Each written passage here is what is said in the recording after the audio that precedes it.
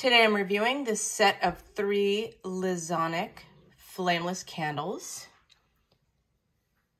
They are really cool. As you can see, it looks like real flames dancing around. It does come with a remote control and there's timer functions on there. And then there's two type of light functions, candle and just regular light. So the secret behind these candles is that there's like a curved side to this little wick, which is a flameless wick that just looks like it's continuously burning. And then there's the back side of it, which is a solid version. So it's like a flat side and it is different. So if I set this up like this, it doesn't quite look the same, that one candle. But if I turn it around,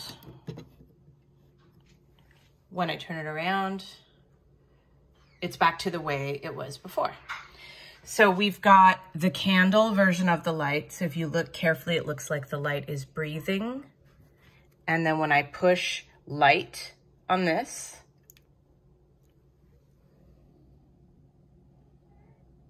it's more of a solid appearance. I will push candle again so you can see the difference. And you can kind of see a little bit of the up-down appearance of this. So it's very vague, but it is an option. And you can dim them a little bit as well.